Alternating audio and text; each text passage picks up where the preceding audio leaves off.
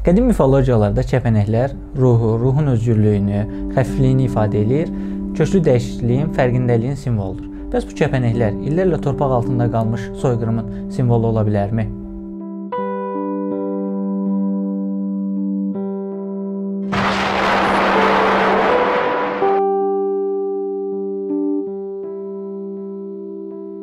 1992-ci ildə Bosniya referendum vasitəsilə müstəqilliyini əldə edir.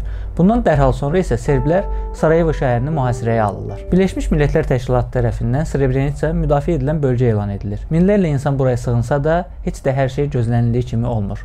Onların silahları əllərindən alınır. Qısa bir müddət sonra bu insanlar serb əskəri Ratko Mladiçə təhvil verilir və hər şey bundan sonra başlayır.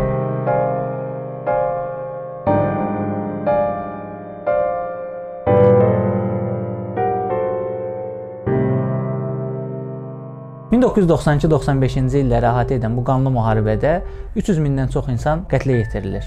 Yüzlərlə qadın təcavüzə uğrayır və daimi işgəncələrə məruz qalır. Amma məsələ bununla da bitmir. Serblər toplu məzarların yerini dəfələrlə dəyişərək bu soyqırımın izlərini itirməyə çalışırlar. Oradakı iqlimə uyğun olaraq bu məzarların ətrafını ağaclar, yaşıllıqlarla örtür, onları heç var olmamış kimi göstərməyə çalışırlar. Bu dövrün psixoloji sarsıntılarını, insan ölümlərini, soyqırım keçirilən yerlərdə baş verən hadisələri öyrənmək üçün Aleksandra Kaveliusun Leyla romanını oxumaq olar.